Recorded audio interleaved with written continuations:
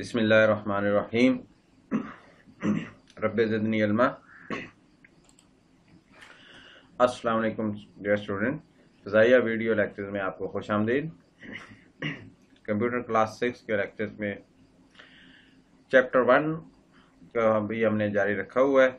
इसका छठा लेक्चर।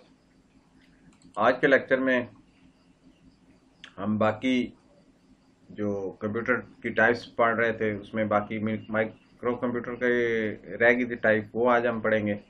पहली तीन टाइप्स हम पढ़ चुके हैं साइज़ के हिसाब से जो कंप्यूटर की है। Super computer mainframe computer और मिनी कंप्यूटर तो ये तीनों हमने पढ़ ली थी पिछले लेक्चर में।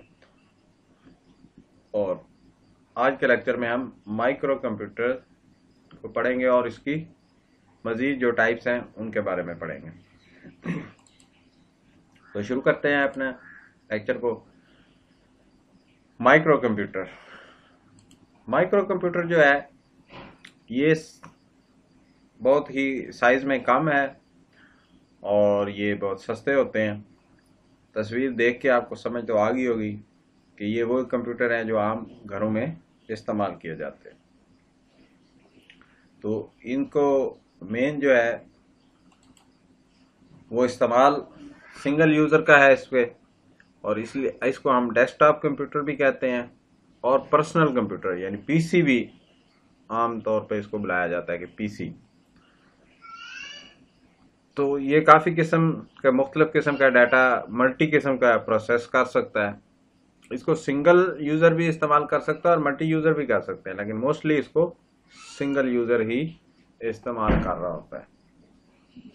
तो ये कीमत में बहुत सस्ता है अफोर्डेबल है, हर कोई इसको ख़रीद सकता है और इस्तेमाल कर सकता है। क्योंकि मिनी कंप्यूटर जो है, वो इसकी नस्बत काफ़ी महँगे हैं, वो हर इंडिविजुअल का लेना जो है, उसको ख़रीदना मुश्किल है।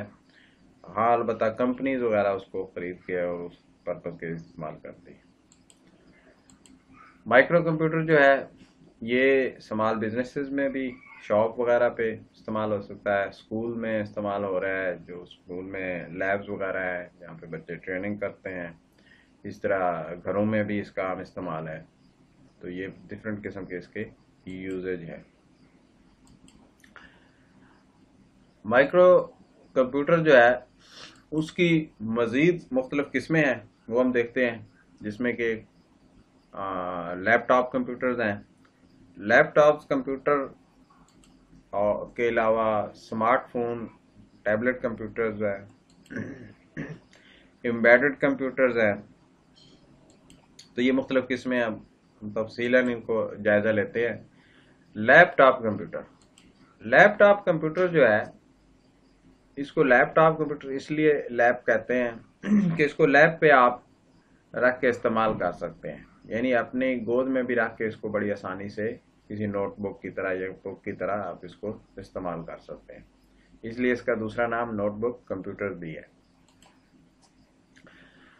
इसके अंदर जो मॉनिटर प्रोसेसर स्टोरेज कीबोर्ड ये सारी डिवाइसेस जो है, वो एक ही केस में बंद होती हैं।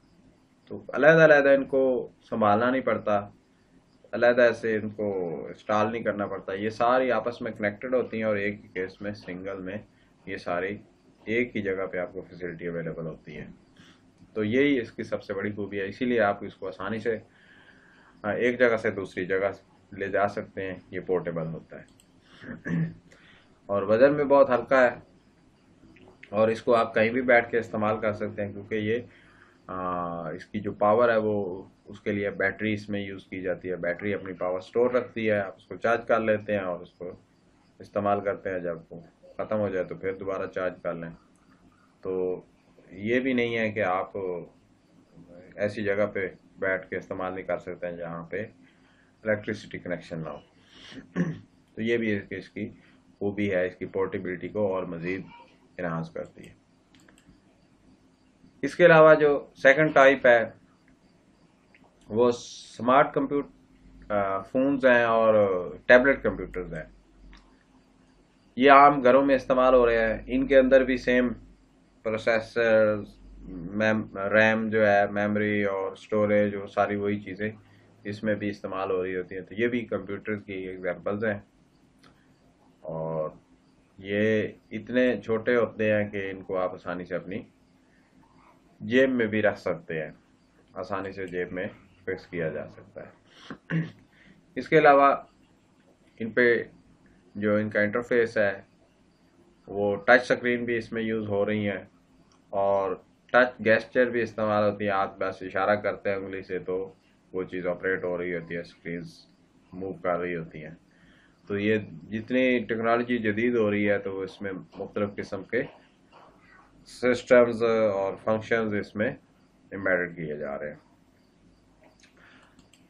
इसके बाद इसके अंदर जो मोबाइल डिवाइसेस हैं, इसमें वैरायटी किस्म की सॉफ्टवेयर एप्लीकेशन इस्तेमाल हो रही होती हैं। आपने देखा होगा कि जो आम घरों में इस्तेमाल हो रहे थे बहुत ही किस्म ला तादाद किस्म की एप्स जो हैं, वो आप इस्तेमाल कर सकते हैं, जिससे आपके आसानी से कम्युनिकेशन हो सकती है नेटवर्किंग है, और डिफरेंट किस्म की यूटिलिटीज़ हैं। व्हाट्सएप है फेसबुक है, और मुख्तलिफ़ यूट्यूब है बेशुमार किस्म की, अनगिनत किस्म की ऐप्स जो है, वो इस पर इस्तेमाल की जा रही है।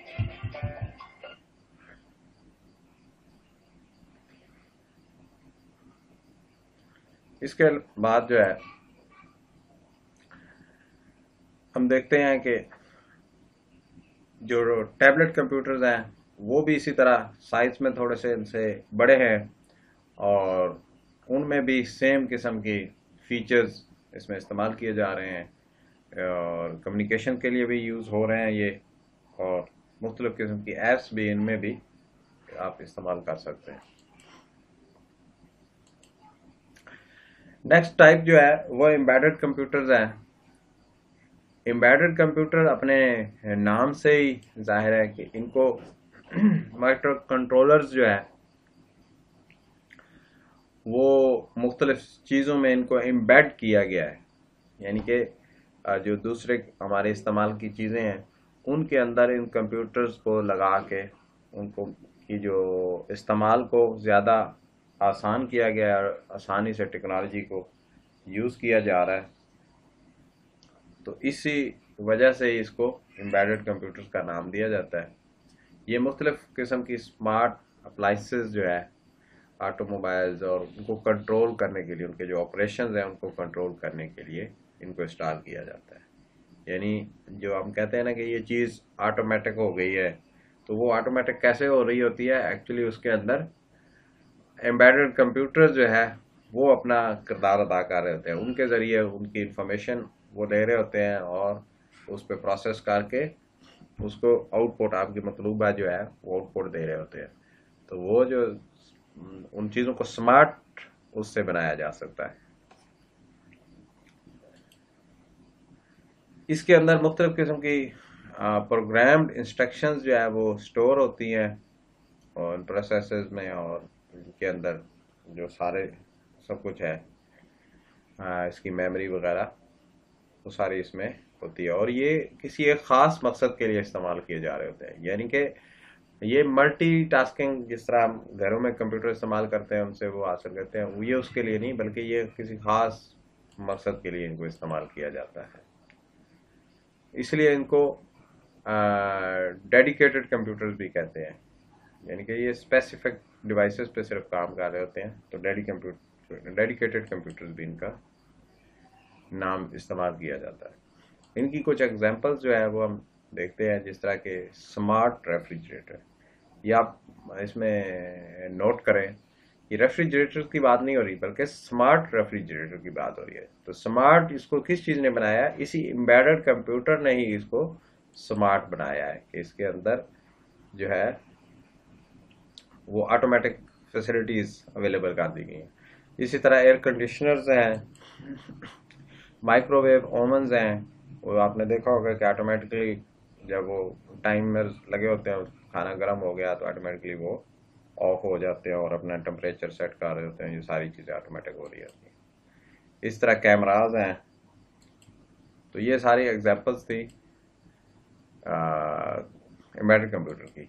तो इनको हम कहाँ कहाँ इस्तेमाल कर सकते हैं? इन फैसिलिटीज़ को ये जो है इतने अच्छे फ़ंक्शन है। इसको हॉस्पिटल्स में इस्तेमाल किया जा रहा है। और इसी तरह फैक्ट्रीज़ में भी इसका बहुत ज़्यादा इस्तेमाल है। बहुत जितनी भी आज कर की लेटेस्ट फैक्ट्रीज जितनी भी हैं, वो सब में इनका इस्तेमाल है। और लेटेस्ट इक्विपमेंट्स आ रहे हैं जिस तरह, और इसी तरह बैंक्स के अंदर जो है, वो इनका इस्तेमाल है।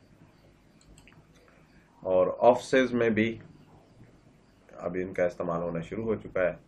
तो ये मुख्तलिफ़ किस्म की इसकी इस्तेमाल है। तो उम्मीद है आपको माइक्रो कंप्यूटर की समझ आ गई होगी और इसकी टाइप्स की भी समझ आ गई होगी। तो आज का लेक्चर हम यहीं पर ख़त्म करते हैं। नेक्स्ट लेक्चर के साथ हाजिर होंगे। अगर आपको पसंद आया तो प्लीज़ लाइक करें शेयर करें और सब्सक्राइब करें इस चैनल को, ताकि ये इन्फॉर्मेशन जो है, वो ज़्यादा से ज़्यादा लोगों तक पहुँच सके। तब तक के लिए अल्लाह हाफिज़।